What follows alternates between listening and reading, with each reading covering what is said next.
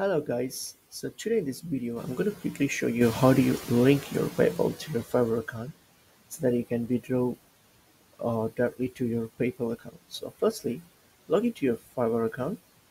So once I've logged into your Fiverr account, what I have to do is under my business, click on my business, go to earnings here. So click on earnings here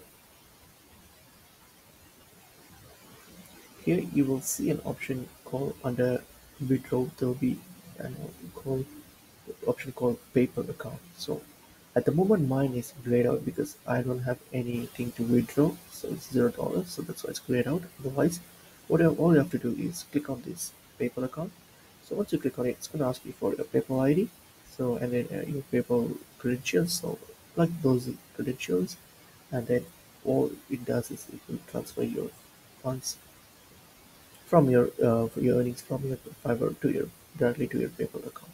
So in this way, your and if in this way it will link your PayPal to your Fiverr. So if you go to your settings, you go to your profile and hit uh, settings,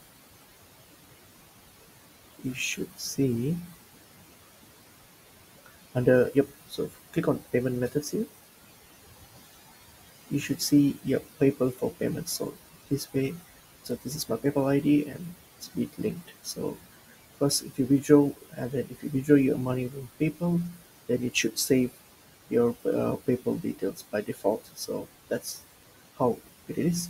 So hope this video is helpful to you guys and I'll see you guys in another video. Thank you.